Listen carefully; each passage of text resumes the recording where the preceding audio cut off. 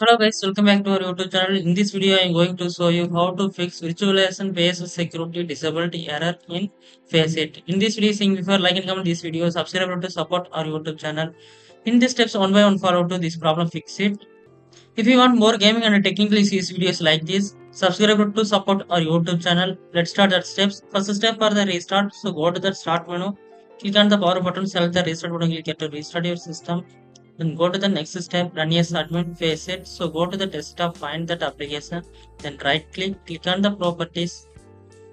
Then go to the compatibility tab, then check box select the mode. Below check box select the run this program as administrator. Once it's select, hit the apply and OK button, click here to close it. Then go to the next step. Memory integrity, turn it off. So go to the Windows search bar, then type the Windows security. Then you can click to open it then go to the device security. Here click on the core isolation details. If there is memory integrity if this turn it on just click to turn it off.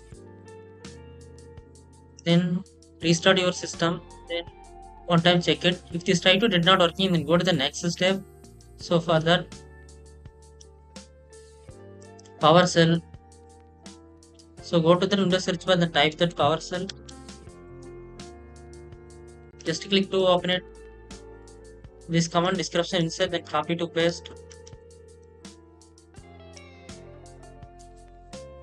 the enter then exit after that restart your system uh, then your problem fix it if you have any doubt subscribe to comment our youtube channel i give the answer and like and comment this video this method working or not working comment section go to comment if you have any doubt or if you want more gaming and technical issues videos like this, please subscribe to support our YouTube channel. Thanks watching.